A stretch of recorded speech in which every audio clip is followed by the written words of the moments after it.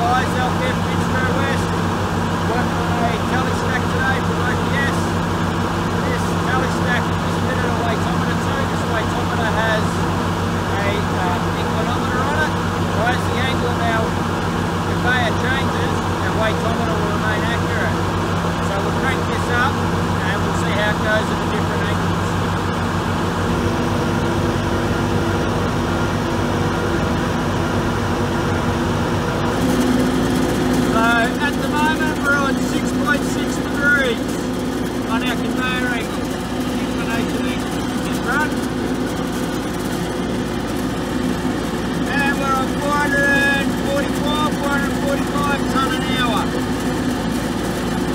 Change Changing angles, here we go.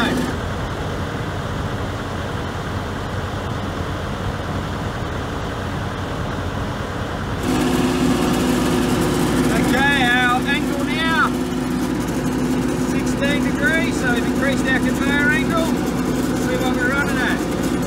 Good run. So we're still maintaining the same tons per hour around that 442, 443.